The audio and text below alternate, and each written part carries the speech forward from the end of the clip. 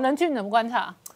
所以我觉得现在对于郭台铭来讲，或者是对于这个呃民众党来说哦，他现在必须要去思考的是美国跟中国在这一次的选举里面，究竟他们的立场要站到什么程度？我就要举一个例子哦，比如说像郭台铭里面，大家认为说这个呃中国大陆要查税或干嘛的，透过这个手段去要求你郭台铭自己想尽想办法，你自己去理解。但是如果刚刚讲到说这个辉达今天放了一个订单去给红海，让红海的股价可以止跌回升回来，那是不是也代表了另外一个方面？是过去大家认为中共大陆为什么要出手？是因为美国你今天在赖佩霞的这个所谓的护照，哎，这个国籍的问题上面，你开的不是只有绿灯而已，你根本是加速帮他处理，让他符合参选的资格。那今天辉达的这一个有没有政治上面的考量？嗯，所以今天郭台铭回出来回应，因为。老实讲，过去一大段时间，大家质疑说郭台铭你在哪里？嗯，你今天不是要这个这个这个联署只剩三天四天啊？你不是应该出现？他都没有公开行程，今天突然跑出来接受说，这突然出来出来了，然后告诉你说我要我要选到底。嗯，所以我认为，当然第一个就是说，郭台铭其实做了一个选择，就是他现在在告诉大家，我要继续往总统这一条路上走。嗯，是不是在回应美国？我不敢这么说，但是时间上面今天蛮特别的，这是第一个啊。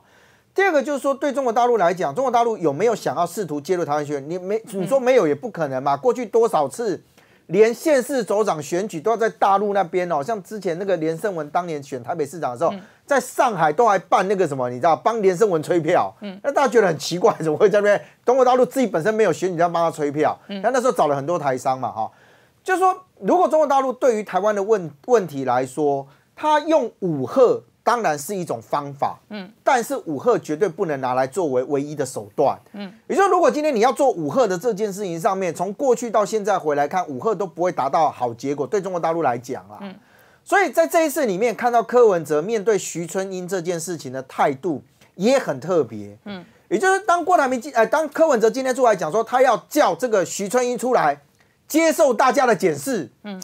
你就知道他在这件事情上面，他准备把它变成他的主议题了。嗯，也就是你越质疑说好，今天大家质疑讲说，哎，你今天为什么让徐春英有机会进入到国那个这个立法院里面去？嗯，柯文哲的讲法是说，他有中华民国身份证，他有什么什么东西的时候，为什么我不能剥夺他？嗯，今天加码叫做我要叫他出来面对。嗯，那你觉得他为什么要炒这个议题？因为很简单。如果就法的这件事情上面，他现在就跟你讲啊，我为什么要剥夺他？哎，等等等等，就法的话，赵天麟也有参选权啦。赵天麟可以选到底啦。但赵天麟是不是自己自我了当、自我退了？中华民国的法令是最低标准啦。政治人物跟国会议员，他有一个更高的国家标准啦。嗯，简单讲啦，就连今天马文君，不管他的泄密是。可以佐证到什么程度？他已经不适合当国防外交委员会的立法委员了嘛？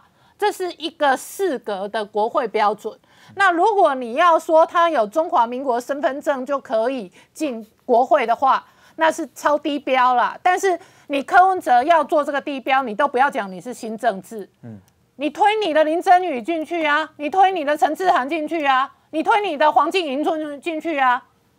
请问你为什么推徐春英？请问你为什么觉得徐春英更有代表性？柯文哲在这件事情要把它做大，他为什么要把它作为主战场？因为很简单，我认为这件事情不是只单纯做给所谓的陆配或者这一些他认为有什么一百万票的这些人看，因为这是我认为他在买单徐春英的后面大老板啊，这是徐春英后面的推荐人，不是徐春英后面一定是推荐人嘛？不然为什么不推荐你康仁俊？康仁俊后面是谁嘛？嗯，星光小公主后面是谁？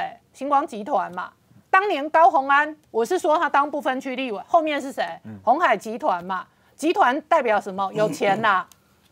所以呢，徐春英的后面不是有钱，就是有中国力量，就只有两个选项嘛。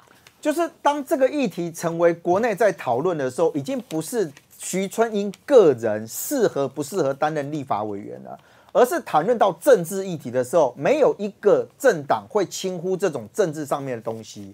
可是柯文哲选择把它做大，那代表的是他要说服的对象其实不是国内的民众，嗯，就这么简单。就是我在回答您刚的那个疑问就是他要向中国跟国台办书城嘛，他要向徐春英后面的老板表态嘛。徐春英不是咖，但是徐春英后面有大咖，柯文哲要向那个大咖表态。再来就是说，外界现在对徐春英个人的质疑回到的是，比如说这个平面媒体之前的报道，那个报道的说法来自于徐春英个人的说法，因为那些是他曾经告诉大家讲说，我拥有这些资历。可是现在徐春英讲说没有，我没有做过那些职务，而柯文哲选择相信了或者接受了他现在的做法，那大家会更质疑。那你告诉我前面的那一段是真，还是后面这一段是真，还是你完全不管？嗯所以我认为在这件事情上面，当然啦，你说他吃不吃选票的这一套，我认为他吃，可是。对于现在很多民众来讲，为什么他成为政治上面大家去检视徐春，他不是一个重要人物，嗯，但是他背后所代表的政治意义的象征，其实大过于他有没有当上立法委员这件事情了。哦，我是林官，我有全新的官方个人频道，叫做林官说说看，欢迎大家跟我一起来说说看，也欢迎大家订阅、分享，按下小铃铛。